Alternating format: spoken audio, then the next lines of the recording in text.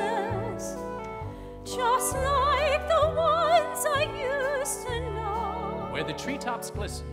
Where the treetops glisten. Children listen. And children listen to hear sleigh bells in the snow.